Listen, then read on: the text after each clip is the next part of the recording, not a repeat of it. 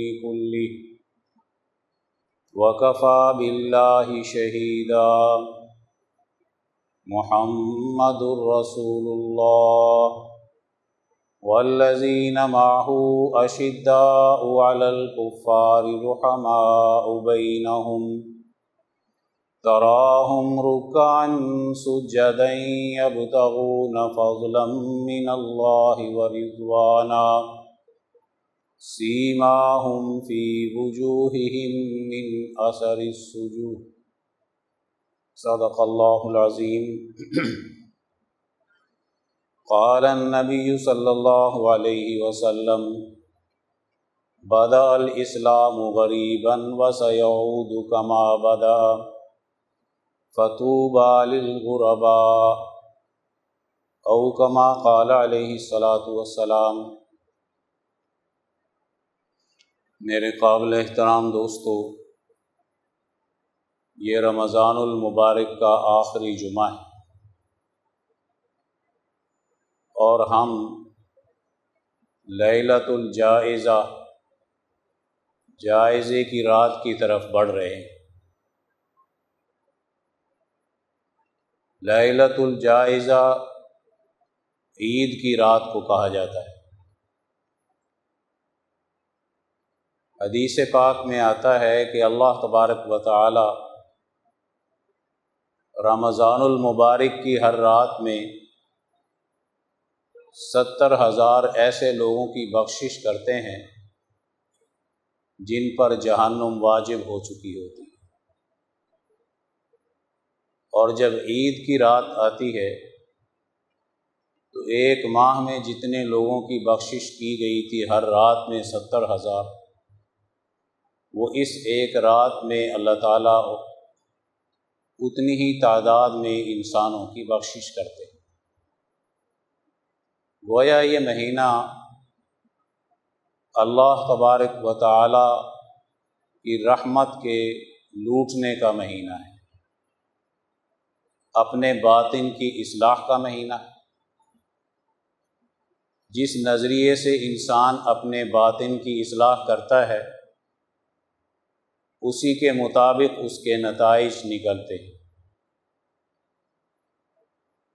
सबसे पहली चीज़ ये है कि हम अल्लाह ताला की इबादत ख्वाहिश नफ्स से करते हैं या अक्ल शूर जो ईमान का तकाजा है उससे करते हैं। ख्वाहिशात नफसानी में जब इंसान अल्लाह की तरफ़ बढ़ता है, क्योंकि दोनों का नतीजा एक ही निकलता है। ख्वाहिश नफ्स से अल्लाह की तरफ़ मुतवजह हों, उसके नतीजे में भी अल्लाह की मोहब्बत पैदा होती है। और अक्ल व शूर ईमानी अक़ल के तकाजे से हम अल्लाह की तरफ़ मुतवजह हों तो उससे भी अल्लाह की मोहब्बत का ही गलबा निकलता है। लेकिन दोनों में फ़र्क है। ख्वाहिशात नफसानी से जब इश्क अल्लाह से किया जाए, मोहब्बत पैदा की जाए तो इंसान पर बड़ी घबराहटें तारी होती बड़े दिल में वस वसे ख्यालात पैदा होते रास्ते में बहुत सी रुकावटें इस तरह आती हैं कि इंसान को रियाजत करके उन रुकावटों को दूर करना पड़ता है। शाह इस्माइल शहीद रहमत फरमाते हैं कि ये घबराहट, ये दिल में तकलीफ़ का पैदा होना और अपने मतलूब को हासिल करना अल्लाह यकीनन ये एक इश्क का रास्ता है। मोहब्बत की इंतहा इश्क है। इस रास्ते में इंसान हर चीज़ को फना करता चला जाता है। हती कि वो अपनी ख्वाहिशात को पहले फना करता है। फिर वो अपनी औलाद की ख्वाहिशात को फना करता है। माल और दौलत की ख्वाहिशात को फना करता है। दुनिया की हर चीज़ को फिर वो फना करने के मकाम तक पहुँचता है। और एक वक्त आता है कि इंसान सिवाय अल्लाह के हर चीज़ को फना करना चाहता है। ये इश्क का रास्ता है, लेकिन ये कशमकश हयात से काटता है। मोहब्बत इलाही की तरफ़ बढ़ता है, लेकिन हर चीज़ की नफ़ी और फना करके बढ़ता है। और एक अक्ल ईमानी है, जो किसी चीज़ में फ़ायदा देखती उस फ़ायदे को तलब करती उसकी तलब उसमें पैदा होती और उस फ़ायदे को हासिल करने के लिए वो एक ज़ात का अपने आप को मोहताज समझता है कि ये फ़ायदा, ये समरात मुझे कैसे हासिल होंगे, ये नतीजा मुझे कैसे हासिल हो मैं तो इसको हासिल करने के एतबार से बहुत कमज़ोर हूँ, लेकिन फ़ायदा लेना है, हासिल करना है।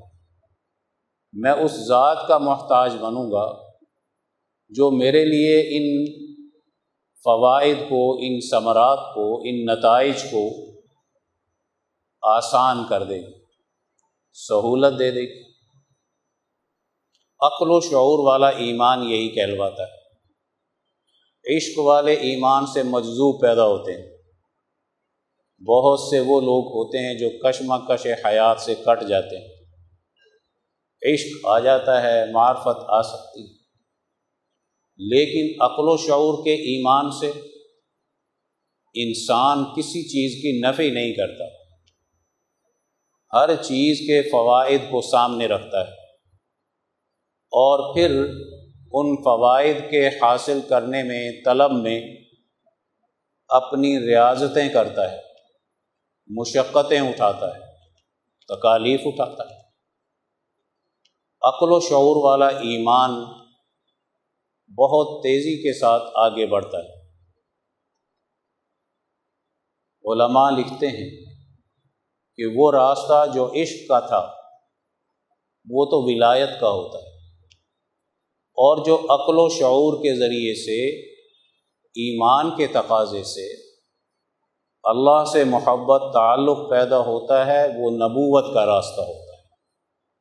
नबूवत के रास्ता अक्ल शूर पैदा करके, अल्लाह की पैदा की हुई अशिया को अपने लिए, अपने दूसरे भाइयों के लिए, अपनी कौम के लिए, अपने ख़ानदान के लिए और फिर इंसानों के लिए इस्तेमाल करने का तरीक़ा सीखता है। इसकी अकल अगर नाकस है तो ये उस ज़ात का मोहताज होगा जो ख़ानदान की ज़रूरतें पूरी करता है, जो कौम की ज़रूरतें पूरी करता है, जो इंसानों की ज़रूरतें पूरी करता है। वो उस ज़रूरियात की तरफ़ बढ़ेगा। उसको हासिल करने की कोशिश करेगा। उस ज़ात की तरफ़ बढ़ेगा जो उसको ये चीज़ें अता करते हैं। तो नबूवत का रास्ता कशमकश हयात में दाखिल होकर इंसानियत के मसाइल को हल करना है। तमाम वसाइल को, तमाम इसबाब को, तमाम इल्लतों को इस्तेमाल करते हुए। ये मुश्किल रास्ता होता है। मुश्किल रास्ता होता है। वो अपनी ज़ात के दायरे में ज़्यादा बंद होता है और अक्ल शूर वाला ईमान इज्तमाहीत के दायरे की तरफ़ आगे बढ़ता है। एक शख्स किसान है, उसने फ़सल काश्त करनी है, उसका नतीजा लेना है। उसने अब फ़सल बीजनी भी है, हल चलाना भी है, पानी लगाना भी है, रातों को जागना भी है, जड़ी बूटियों से बचाना भी है। गोडी भी करनी है, खाद भी डालना है, उसने मौसम का ख्याल भी रखना है, जानवरों से भी उसको बचाना है। ये अक्ल शूर से काम ले रहा है। इसकी बुनियाद पर जो वो अपने फ़सल के नतज लेना चाहता है, वो हकीकत में अक्ल शूर के रास्ते से लेना चाहता है। अम्बिया कराम इंसानियत के हमदर्द होते हैं। इंसानियत में गुर्बत है, इंसानियत में अदावतें दुश्मनी हैं, इंसानी समाज के अंदर ग़ुलामी है, इंसानी समाज के अंदर जुल्म है, इंसानी समाज की तरक्की रुकी हुई है, वो रास्ते तलाश करेंगे कि इस इंसानी समाज को, एक ख़ानदान को, एक कौम को, पूरे समाज को हमने किस रास्ते पर चलकर इन परेशानियों से नजात दिलानी है? ये वो अक्ल ईमानी कहलवाती है कि जिसके अंदर ये अक़ल पैदा हो, वो नबवी ओलूम का हामिल होता है। और जिसमें इश्क की कैफियत पैदा हो, वो मोहब्बत और इश्क के तकाजे से हर चीज़ के फ़ना की तरफ़ मुतवजह होता है। हम जिस चीज़ पर मेहनत कर रहे हैं, ये ूम नबूत से ताल्लुक़ रखती है। इसका ताल्लुक़ अक़ल और शूर के कमालत के साथ है। इसका ताल्लुक़ अक़ली ईमान के साथ है, जो इंसान को कशमा कश हयात से काटता नहीं। जब इंसान इस रास्ते पर चलता है, बहुत सी रुकावटें उसके सामने आती हैं। एक शख्स ने ये इरादा कर लिया कि मैंने सोसाइटी में इंसाफ को गालिब करना है और इससे अल्लाह राज़ी होते हैं। पैगंबर भी यही करते हैं। तमाम किताबें इसलिए आती हैं कि हमने अल्लाह तबारक व ताली के दिए हुए अदल के निज़ाम को गालिब करना ये उसमें एक तलब पैदा हो उसमें एक चीज़ का इश्क पैदा हो गया अक्ल शूर की बुनियाद पर। ये अक्ल शूर इंसानी समाज को तरक्की देगा, उसके मसाइल हल करेगा, वो नबूत का हामिल बनेगा, वो फ़िरौनों को चैलेंज करेगा, वो रास्ते निकालेगा, वो हालात का तजिया करेगा, वो महज जुनूनी होकर आगे नहीं बढ़ेगा। तो जुनून की कैफियत और चीज़ है, वो खवास को हासिल हो जाती है इश्क मजाजी की बात नहीं कर रहा, मैं इश्क हकीकी की कर रहा हूँ। इश्क मजाजी तो आजकल ख्वाहिशात नफसानी के ताबे है। वो अल्लाह के इश्क के ताबे नहीं है, ख्वाहिशात के ताबे है। इसलिए वो तो इंसान को बजाय अल्लाह से जोड़ने के और ज़्यादा जनूनी बनाकर उसको मुतशद बना देता है और उसको हकीकी इश्क से काट देता है। तो मसनू इश्क ये नुकसानदेह होता है। ये खालिसतन इंसानी ख्वाहिश के ताबे होता है। अल्लाह की मोहब्बत हासिल करने का जज्बा इसमें नहीं होता। खैर तो बुनियादी चीज़ क्या है कि नबूवत के ूम की आज इसलिए ज़रूरत है कि आज के हालात का तकाजा है कि हम सलूक का वो रास्ता इख्तियार करें जो हमें इश्क में मुबतला करें। या हम सलूक का वो रास्ता इख्तियार करें जो हमारी इंसानियत के मसाइल को हल करे। अगर इश्क के रास्ते पर चलना है तो इनफरादियत पैदा होगी और कशमा कश हयात से कटेगा। अपनी ज़ात से भी बेपरवाह हो जाएगा। और अगर नबूवत के रास्ते पर चलना है तो फिर इंसान मुजाहिद बनता है। फिर इंसान मुजतहिद बनता है। फिर इंसान इमाम बनता है। फिर इंसान रहनुमा बनता है। उसमें क़्यादत की सलाहियत आती है। उसमें लीडरशिप पैदा होती है। अक्ल व शूर वाले ईमान का आज सबसे पहले तकाजा है। हज़रत नबी करीम सल्लल्लाहु अलैहि वसल्लम पर सहाबा कराम की अक्सरियत अक्ल व शूर का ईमान लाती है। आप देखेंगे उनकी अमली ज़िंदगी कशमकश हयात में मुबतला है। वो एक मेहनत कर रहे हैं। वो अबू जहल के निज़ाम को चैलेंज कर रहे हैं। अबू लहब के निज़ाम को चैलेंज कर रहे हैं। वो कैसर व किसरा के निज़ामों को चैलेंज कर रहे हैं। वो रास्ते सोच रहे हैं कि मैंने मतलब हासिल करना है, अल्लाह तक पहुँचना है। और उसके लिए मेरे पास वो रास्ता है जो मुझे मेरे पैगंबर ने दिया। उनके यहाँ आपको इश्क की रियाजतें ज़्यादा नज़र नहीं आती। आपको उनका प्रैक्टिकल ज़्यादा नज़र आता है। इसलिए कि वो उसी किसान की तरह हैं, जिसने अपनी खेती की हिफाजत करनी है। पहले जमात को हर किस्म की कीड़े मकोड़ों से बचाना है, साजिशों से बचाना है। मुखलिस होकर आगे बढ़ना है। बहुत कुछ सीखना है अपने पैगंबर सल्लल्लाहु अलैहि वसल्लम से, अपने सीनियर से, अबू बकर से सीखना है, हज़रत उमर फ़ारूक से सीखना है। सहाबा कराम बैठ कर मजलिस में ये चीज़ें सीखा करते थे। उनकी अक्ल शूर थी कि वो ये समझ रही थी कि इस वक्त में नबवी हमत अमली का तकाजा क्या है। उसके मुताबिक उन्होंने अपनी सोसाइटी के अंदर तब्दीली पैदा की। पिछले जुमे हमने जमात के तरक्की के असूल बयान किए थे कि एक जमात किन असूलों पर तरतीब पाए तो वो आगे बढ़ती है। पहली बुनियाद तो उसकी अक्ल शौरी होता है हमत पर होती है। तालीम किताब, तालीम के जेवर से आरास्ता होती है। उस जमात के कारकुन जाहिल नहीं होते। ऐसी जमात जो चार उसूलों पर तैयार हो, तिलावत कुरान हकीम पर, शरीयत के कवानीन पर तजकिए पर और आला दर्जे की हमत पर। जो जमात इस पर तैयार होती है, उसका कारकुन अपनी लीडरशिप को कभी गुमराह नहीं होने देता, कभी उसकी सौदेबाजी नहीं होने देता, उसको करप्शन में मुबतला नहीं होने देता, वो सीधा रखता है।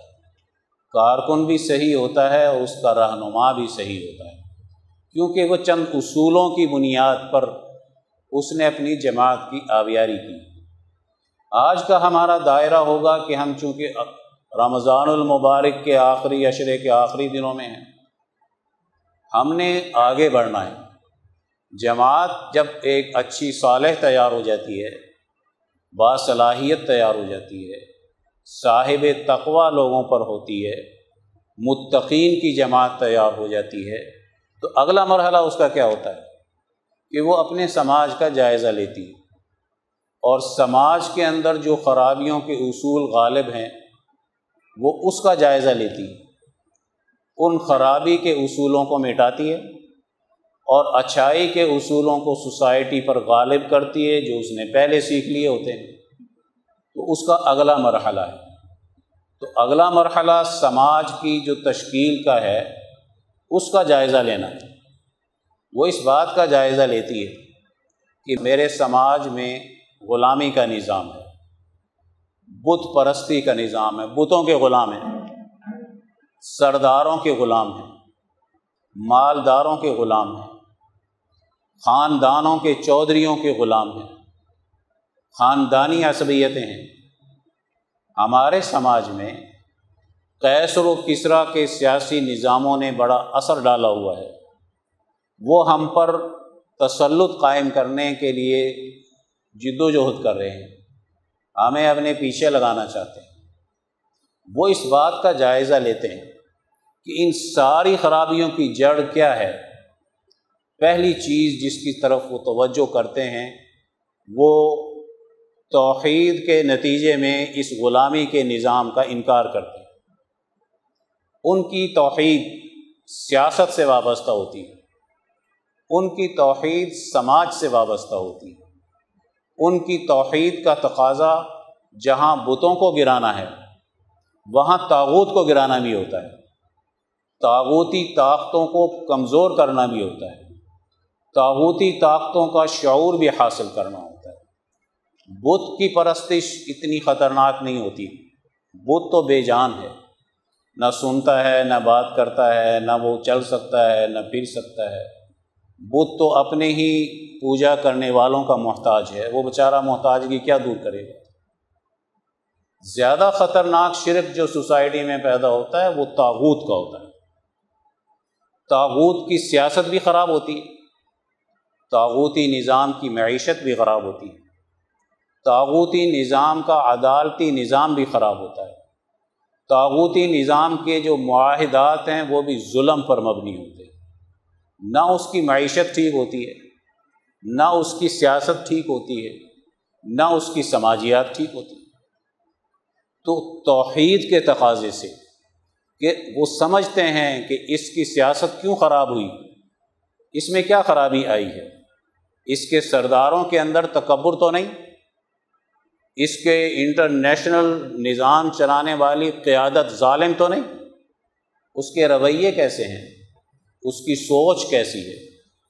तसलुत की है ताबूतियत की है, सरकशी की है, या किसी अच्छे सिस्टम की हिफाजत की है? तो जब एक जमात तैयार होती है तो अपने समाज के सबसे पहले तोहद के तकाजे से आज़ादी और ग़ुलामी का जायज़ा लेती है कि ये कौम आज़ाद है या इस कौम के अंदर ग़ुलामी मौजूद है। अगर ग़ुलामी है तो पहली जद्दोजहद ग़ुलामी से आज़ादी की की जाती है। ग़ुलाम कौम जब तक ग़ुलामी से आज़ाद नहीं होती, वो अपनी मीशत को ठीक नहीं कर सकती, वो अपनी अदालत को ठीक नहीं कर सकती, वो अपने समाज को ठीक नहीं कर सकती। हम समाज की ठीक करने की बात करते रहें और ग़ुलामी से आज़ादी ना हासिल करें तो हमारी जमहूरीत भी फ़ेल है, हमारा मार्शल्ला भी फ़ेल है, हमारी शूरा भी फ़ेल है, हमारा सदारती निज़ाम भी फ़ेल है, हमारा पार्लिमानी निज़ाम भी फेल है। क्यों? कि हम ग़ुलामी से आज़ाद नहीं हो सकते। अगला मरहला किसी समाज की तरक्की का इस जमात के सामने ये होता है कि इसको अब आज़ादी दिलानी आज़ादी दिलाना बड़ा मुश्किल अमल होता है। इसी के लिए तो सबसे बड़ी जिद्दोजहद करनी पड़ती है। इसी के लिए तो जंगें करनी पड़ती हैं। हिंदुस्तान ग़ुलाम बना साम्राजी ताकत का। तो रब्बानी ने इस्लाम नाफिज करने की बात नहीं की। सबसे पहले आज़ादी और हुर्रियत की बात की कि इस कौम को पहले आज़ादी तो दिलाओ। ग़ुलाम कौम का क्या इस्लाम होगा बेचारी का? कैसे वो अपने इस में बाख्तियार हो सकती है? कैसे अपनी क़वत नाफजा को कायम रख सकती है? कैसे वो फैसले करने में आज़ाद हो सकती है? जिसका निज़ाम ही ग़ुलामी का बन गया। उसमें अगर ये तरतीब कायम नहीं हुई कि पहले ग़ुलामी से आज़ादी हासिल करनी है, ग़ुलाम रहते हुए हम खुशहाल होने की बातें करें, ग़ुलाम रहते हुए हम समाजी इंसाफ की बातें करें, ग़ुलाम रहते हुए हम दीन के गलबे की बात करें, ग़ुलाम रहते हुए नेक और सालह बनने की बात करें तो ये किसी ख़ास बंदे का इश्क तो या ख्वाहिशात तो हो सकती हैं, ये अमली जामा नहीं पहना सकती। तो किसी समाज की तरक्की की सबसे पहली बुनियाद आज़ादी होती है। आज़ादी नहीं है, ग़ुलामी है, वही हाल होगा जो आज हमारा हो रहा है। हमारे मुल्कों पर ग़ुलामी का सिस्टम मौजूद है। पहले गोरा अंग्रेज़ बर रास्त बरतानिया से बैठ के हुकूमत करता था। आज वो काले अंग्रेज़ों के ज़रिए से अपने निज़ाम को चलाता है, अपने सिस्टम को चलाता है। ग़ुलामी पहले से ज़्यादा ख़तरनाक होगी। पहले काफिर की ग़ुलामी थी, अब मुनाफिक की ग़ुलामी और शरीयत का उसूल ये है कि काफिर से ज़्यादा ख़तरनाक मुनाफिक होता है। हमारे हज़रत रहमत फरमाया करते थे कि ये दौर निफाक का है। ये कुफर का नहीं, सिर्फ़ इसके पीछे निफाक है।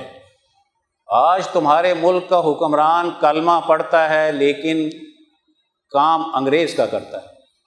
निज़ाम अंग्रेज़ का चलाता है। ग़ुलामी उसकी पैदा करता है। उसके साथ ताल्लुक़ात कायम रखता है। उसकी इस ग़ुलामी से आज़ादी की ना कोई क़ुरबानी है, ना कोई जिदोजहद है, ना उसके पास इसका मुतबादल कोई निज़ाम मौजूद है। अब नाम इस्लाम का लेगा और निज़ाम अंग्रेज़ का चलाएगा तो ये निशानी है इस बात की कि निफाक का गलबा हो गया। इस गलबे को पहचानने के लिए अक्ल व शूर की ज़रूरत है। इश्क व मोहब्बत की नहीं है। इश्क व मोहब्बत का रास्ता हमें निफाक का पहचान नहीं बताता, अपनी तरक्यात की, किसी मार्फत की बातें करता है। तो यही दौर का तकाजा होता है। कि आज हमने इश्क पैदा करना है। या पैगंबर की नबवी हमत अमली की रोशनी में हमने आज के दौर के निफाक को समझना है। जिस सियासत के रास्ते से, जिस निज़ाम के रास्ते से आज ग़ुलामी आई है, सबसे पहले अगर अपने समाज को दीनदार बनाना चाहते हो, रोज़ों की तासीर पैदा करना चाहते हो, नमाज़ की तासीर इसमें पैदा करना चाहते हो हज की तासीर इसमें पैदा करना चाहते हो, इसके सोसाइटी की तरक्की इसको देना चाहते हो तो अगर बुनियादी उसूल ही हमारे पास ग़ुलामी का है तो ना हमारा दीन बच सकता है, ना हमारी मीशत बच सकती है, ना हमारी नमाज़ों की तासीर आ सकती है, ना हमारे रोज़े की तासीर आती है। हम रोज़े भी रख रहे होते हैं, फ़राड भी कर रहे होते हैं, झूठ भी बोल रहे होते हैं, मिलावट भी कर रहे होते हैं। महँगाई भी कर रहे होते हैं। अपने भाई का खून भी चूस रहे हैं। शैतान असली तो पता नहीं जंजीरों में बंद हो गया, जो अपने अंदर का शैतान था, वो तो ज़्यादा ख़तरनाक हो गया। क्यों? ग़ुलामी का असर है। ताकतवर ग़ुलामी का निज़ाम है। हमारी ताकतें उसके सामने मगलूब हो चुकी मरूब हो चुकी हम बाख्तियार नहीं रहे। जब बाख्तियार नहीं रहे, ताकतें मगलूब हो गई, ग़ुलामी का शिकार हो गए तो एक कैसे हो सकता है कि हम ग़ुलामी से आज़ादी हासिल किए बगैर अपनी इबादत की तासीर पैदा कर लें? कौम के अंदर जमात की अलग बात हो रही है। कौम की बात हो रही है। तो आज कौम रोज़ा रखने के बावजूद जराइम में मुबतला। नमाजें पढ़ने के बावजूद सूद नहीं छोड़ते। तस्बीहात पे तस्बीहात किए जा रहे हैं, शैतानी चालों को नहीं समझते। आज हम अलिया अल्लाह बड़े बड़ी बड़ी खानकाहों पे हज़ारों मोतकीफ़ीन बैठे हैं, लेकिन शैतान मुतमिन है, निज़ाम और सिस्टम मुतमिन जब तक ग़ुलामी से आज़ादी के नज़रिए पर रमज़ान नहीं गुजारोगे तो याद रखो ये सिस्टम हमारी इस इबादत को हज़म कर जाएगा।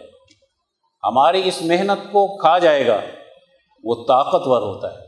आज़ादी का नज़रिया उसको शकिस देता है, उससे ज़्यादा ताकतवर होता है। आज़ादी के नज़रिए के पीछे तोहद की ताकत होती है, अल्लाह की वहदानियत की ताकत होती है। ये एक अल्लाह का अपने आप को ग़ुलाम समझता है, इसकी क़वत इरादी, इसकी क़वत अकलिया, इसकी ख्वाहिशात नफसानी इसने अल्लाह के हुक्म के ताबे कर दी है, उसकी ग़ुलामी के ताबे कर दी है। जब इसने अल्लाह के हुक्म के ताबे कर दिया अपने आप को तो इस पे ग़ुलामी का असर आना ख़त्म हो गया। किसी भी बद चीज़ का असर ख़त्म करना हो तो उससे नफ़रत पैदा करो। उससे मोहब्बत करने से तो वो चीज़ बाकी रहती है। उसको, उससे मोहब्बत करने से वो चीज़ कभी ख़त्म नहीं होती। आप सूद के असरात से बचना चाहते हैं तो सूद से नफ़रत करो। बेहयाई की तहजीब से बचना चाहते हैं तो उससे नफ़रत का रास्ता इख्तियार करो। आप अगर ग़ुलामी से बचना चाहते हैं तो आज़ादी और हुर्रियत का जज्बा पैदा करो और ग़ुलामी से नफ़रत पैदा करो। मुट्ठी भर जमात ने आज़ादी और हुर्रियत से मोहब्बत की तो ग़ुलामी का असर कबूल नहीं किया। और नबे करोड़ की आबादी, अस्सी करोड़ की आबादी ने उस अंग्रेज़ के निज़ाम को अपने ऊपर कबूल कर लिया तो बुजदिल बन गई और उसने कोई आज़ादी और हुर्रियत में किरदार अदा नहीं किया। जमात का नज़रिया आज़ादी का हो गया। उसने ग़ुलामी की सोच का ख़ात्मा कर दिया। किसके तकाजे से? तोहद के तकाजे से की तो तोहद जब हमारे अंदर आएगी तो सबसे पहले तागूती निज़ाम की नफ़रत पैदा हो कुरान हकीम में आता है, ईमान उसका कामिल है। फ़मई यकफुर भी तागूत व युमिन बिल्ला जो तागूत का इनकार करता है और अल्लाह पर ईमान लाता है। आज हम अल्लाह पे ईमान की बात करते हैं और तागूत के कुफर की बात नहीं करते। इसलिए हमारे अल्लाह पर ईमान लाने की हालत और कैफियत बड़ी कमज़ोर है। बड़ी ज़यीफ़ है। मुजाहमत से चीज़ मज़बूत होती है। मुजाहमत से आजमाइशें आती हैं। अक्ल व शूर खुलती है। रास्ते नए नए तलाश करने पड़ते हैं। मुजाहमत का रास्ता ही छोड़ दिया तो उसको ग़ुलामी से आज़ादी के रास्ते कैसे चूज़ सकते हैं? आप पूरी ग़ुलामी की ढाई सौ साल की तारीख पढ़ के देखो अट्ठारह सौ इकतीस में क्या हमत अमली है सत्तावन में क्या हमत अमली है? तहरीक खिलाफत में क्या हमत अमली है? तहरीक रेशमी रुमाल के अंदर क्या हमत अमली है? फिर तालीमी इदारा कायम करके क्या हमत अमली है? 1920 में आने के बाद क्या हमत अमली इख्तियार की जा रही है? ये जो हमत अमली बदल रही हैं, ये रास्ते थे जो आज़ादी और हुर्रियत की जमात के ने जिसका इंतखब किया था। उस रास्ते के रा, जो हैं वक्ती तौर पर जो जो तकाजे पैदा होते चले गए इन रब्बानी ने उसके मुताबिक सोसाइटी में काम किया। एक वक्त आया बरतानवी साम्राज्य बूढ़ा हो गया। जंग अजीम दोम के बाद शकिस्त खा चुका था। दुनिया की क़्यादत के लायक नहीं रहा। हज़रत सिंधी फरमाते हैं अब ये बूढ़ा साम्राज्य तुम पे हुकूमत नहीं कर सकता। अब तुम इसके, इसकी मुखालफत का रास्ता छोड़ो, ताज़ा दम का ख्याल हासिल करो, जो अमरीकी साम्राज्य पैदा हो रहा है। अब तो इससे जो कुछ सीखना है, निज़ाम हुकूमत चलाने की, वो सीख सकते हो। ये हमत अमलियाँ क्यों बदल रही? दौर का तकाजा है। तो याद रखो, जब आज़ादी और हुर्रियत की तरफ़ हमारी अक्ल व शूर लगेगी, तोहद के तकाजे से तो हमारे रास्ते खुलते चले जाते हैं। किसी भी कौम की तरक्की का पहला उसूल आज़ादी और हुर्रियत होता है।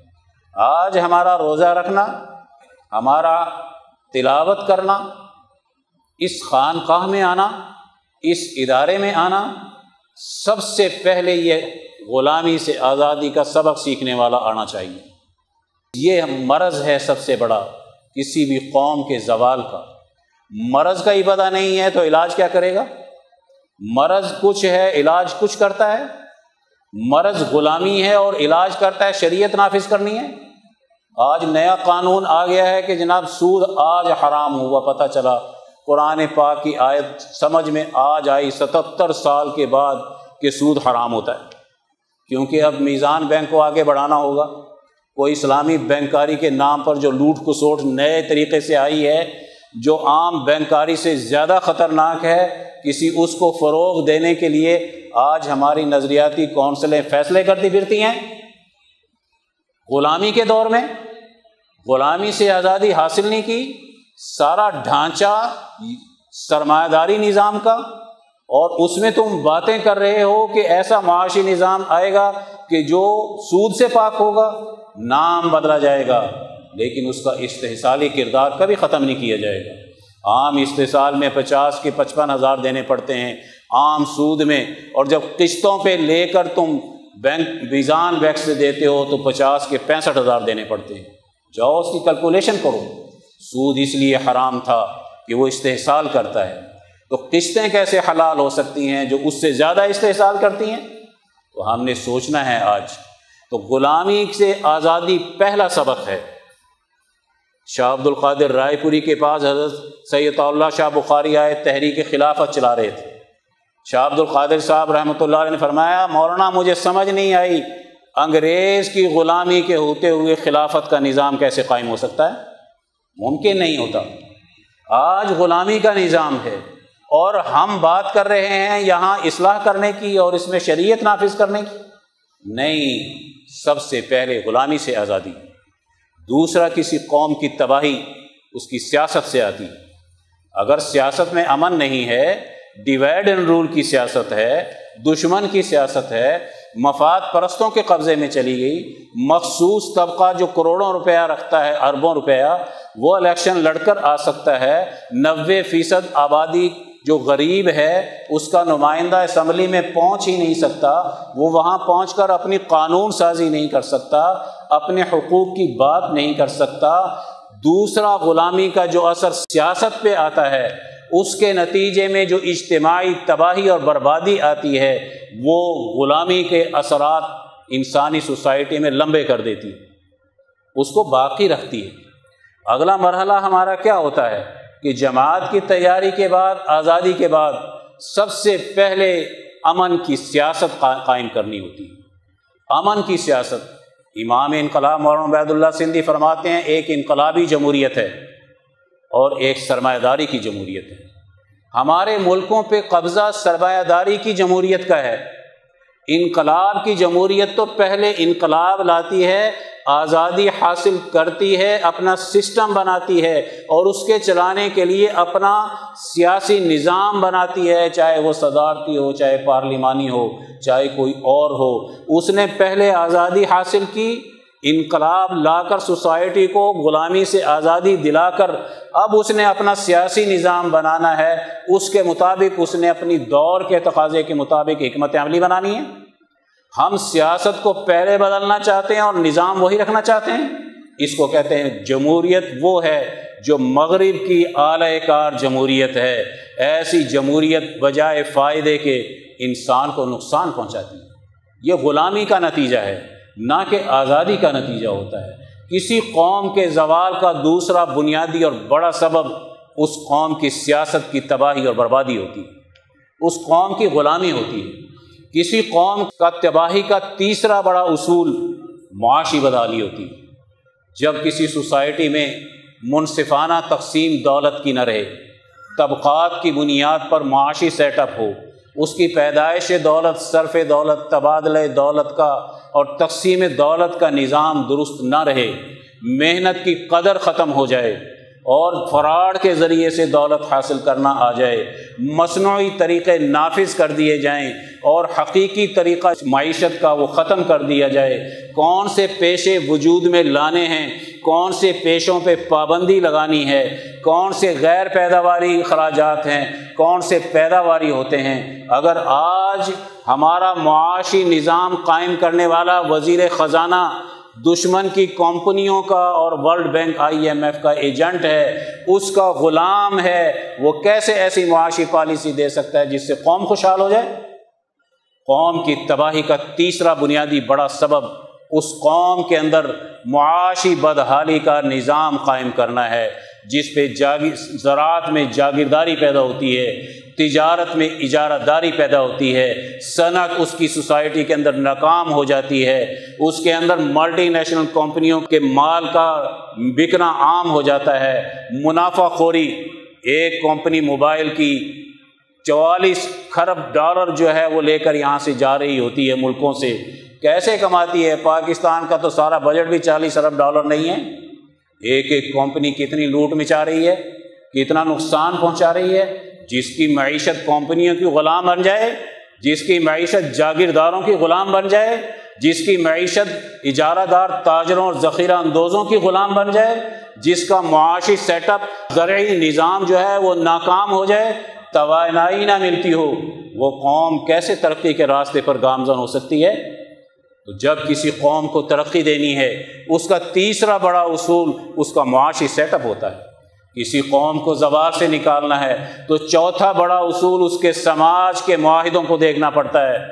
उसके माहदे समाज में एक दूसरे के साथ कौम के, फ़र्द के, एक कंपनी के, उसके गवर्नमेंट के किस नौीयत के होते हैं? अगर माहिदों में जुल्म है समाजी माहदों के अंदर बेइंसाफ़ी है, एक फरीक को फ़ायदा, दूसरे को नुकसान, अपने लिए अस्सी परसेंट नफ़ा।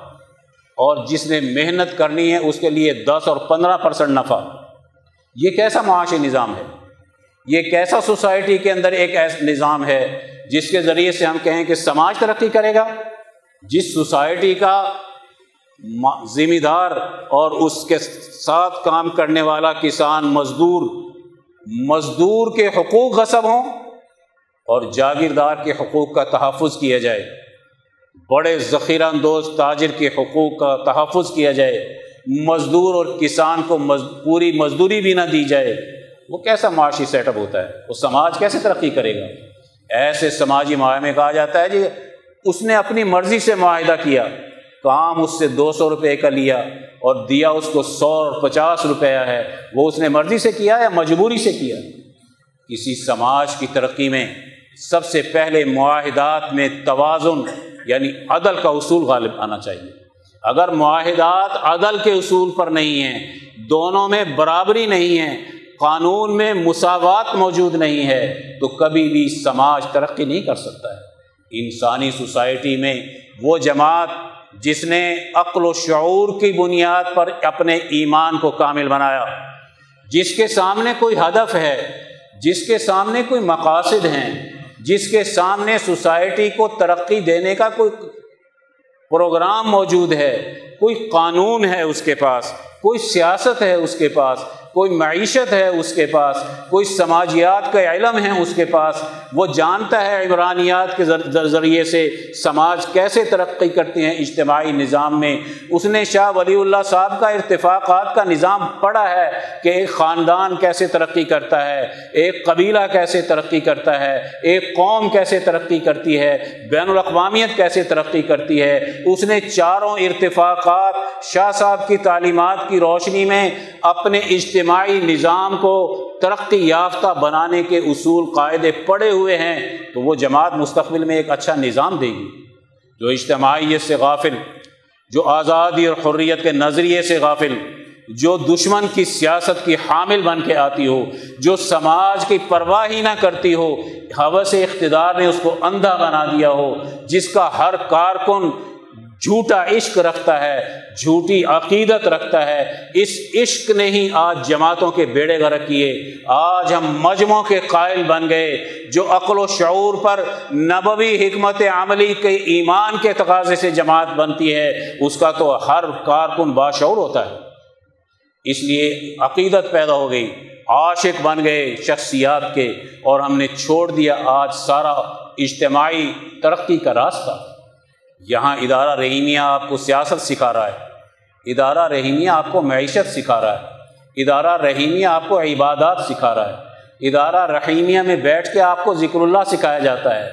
यहाँ अक्ल शूर के बेहतरीन तालीम दी जाती है। यहाँ तारीख़ का सही नज़रिया पढ़ाया जाता है। यहाँ कुरान हकीम गलबे के नज़रिए से पढ़ाया जाता है। यहाँ अहादीस मुबारक, फ़हम शूर की बुनियाद पर जो फ़ुकाए उम्मत ने समझी थी उसके उसूल पर समझाया जाता है। यहाँ दौर सहाबा से जोड़ा जाता है खुलफा राशिदीन से जोड़ा जाता है, उस वह रसूलुल्लाह के साथ जोड़ा जाता है। नबवी हमत अमली पे दीन पढ़ो तो आज समाज का जायज़ा लोगे। अपनी सोसाइटी की तरक्की के उसूल वज़ा करोगे। अपनी सोसाइटी को आगे ले जाने की बातें करोगे। और अगर आज हमने महज चंद रस्मों का नाम दीन रख लिया, नमाज़ पढ़ ली, रोज़ा रख लिया, हज कर लिया और अपने आप को नेक बना दिया। मस्जिदों में जाके नमाज़ पढ़ ली। नहीं, हजूर ने फरमाया, एक ज़माना आएगा, मस्जिदें बड़ी संगे मरमर की बनी हुई होगी। नमाजियों से भरी हुई होंगी। नक्श निगार बहुत होगा। एक बंदा भी उनमें मेरे काम का नहीं होगा। बेशक वो लंबी लंबी दुआएँ मांगते फिरते हों। साहबा ने पूछा, क्यों? मस्जिद तो भरी हुई है, आपके काम का क्यों नहीं? फरमाया कि मल बस हो हरामुन, व मताम हो हरामुन, व मशरब हो हरामुन। दूसरी जगह आपने फरमाया कि उसके अंदर वाहन पैदा हो जाएगा। वो दो लाख का मजमा है, बुजदिल है। मुजाहमत नहीं कर सकता आज़ादी और हुर्रियत के लिए निज़ाम ग़ुलामी से। उसके पचास लाख का मजमा भी हो और वहाँ उससे वक्त का गुलामी पैदा करने वाला जालमाना निज़ाम ना घबराता हो तो आपने उससे आज़ादी कैसे हासिल करनी है? ये नमाज़ का मजमा, ये हज का इज्तम, अगर ये दुश्मन के ग़ुलामी से आज़ादी का सबक नहीं देता तो कैसे कामयाबी हासिल हो सकती है? इसलिए मुजाहिद की नमाज़ और होती है।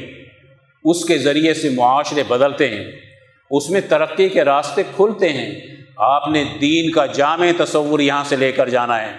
अब हम आखिर में पहुँच रहे हैं। यहाँ का सबक याद करना है। यहाँ जो कुछ सुना, उसका माहौल बनाना है। एक दूसरे से उसकी गुफ्तगु करनी है। उसका तबादला ख्याल करना है। तबादला ख्याल से शरह सदर होता है। दलाइल आते हैं। अक़ल बढ़ती है। तो आज हमारा ये प्रोग्राम नबवी हमत अमली पर है। हम आज के हालात को वैसे ही समझते हैं, जैसे नबी करीम सल्लल्लाहु अलैहि वसल्लम के दौर में पैदा हुए।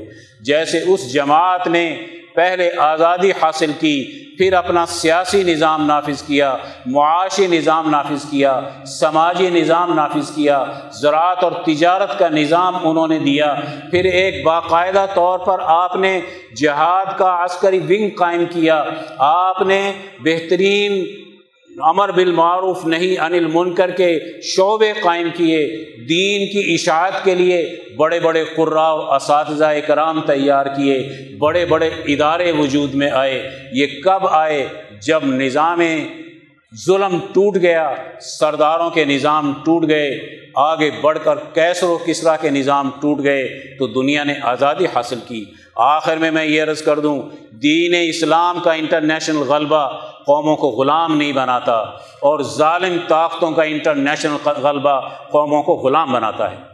हम मिस्र में गालिब आएँ, हम इराक़ में गालिब आएँ, हम चीन में गालिब आएँ, हम रूम और शामियों में गालिब आएँ, वहाँ की कौमों को आज़ादी दिलाकर, उनके कौमी हकूक़ का तहफ़ किया है, उनको खुशहाल बनाया है, उनको तालीम के जेवर से आरास्ता किया है, उनको इलाज मार्जे की सहूलतें दी हैं। हमने एशिया, अफ्रीका और यूरोप को सोने की चिड़िया बनाया, जब किसी को कोई ग़ुलाम बना लेता है, वो उनको भूख से में मुबतला कर देता है। उनको खौफ में मुबतला कर देता है, उनकी आज़ादी को सलब कर लेता है।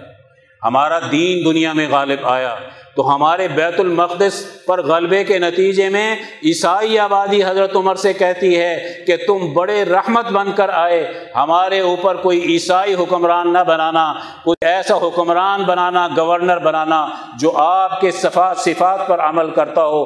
हम अपने ईसाई गवर्नरों से पहले ही तंग आए हुए हैं। तो जिसका निज़ाम आज़ादी का हो, खुशहाली का हो, तरक्की का हो माशरों को आगे ले जाने का हो, वो निज़ाम दुनिया को ग़ुलाम नहीं बनाता।